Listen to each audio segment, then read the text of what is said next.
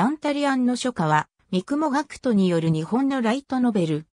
イラストは、G. ユースケが担当している。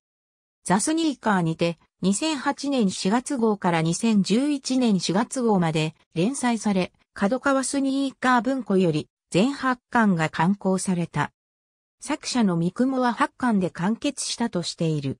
また、コミカライズやテレビアニメといったメディアミックス展開がされている。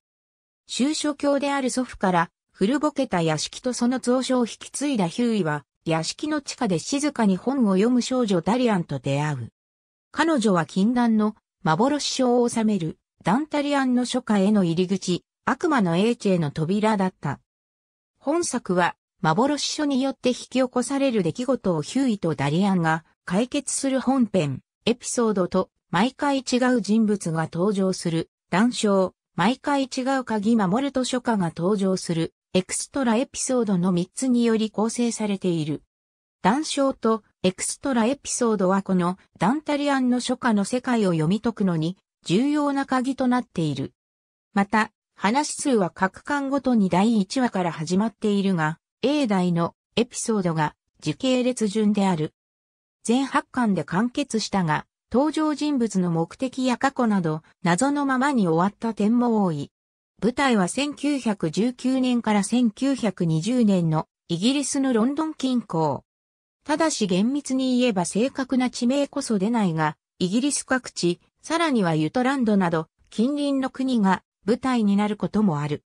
また同作者のライトノベル作品、アスラクラインの後書きによれば、第一次世界大戦直後のイギリスっぽい世界だという。文庫本での掲載順によるザスニーカー2009年10月号でのコミカライズ発表以降、以下3作品が掲載されている。ダンタリアンの書家ダンタリアンの書家ダリアンデーズ、ダリアンちゃんの書家、ザスニーカー2010年8月号でアニメ化企画進行中と発表され、2011年7月から9月までテレビ、東京他にて放送された。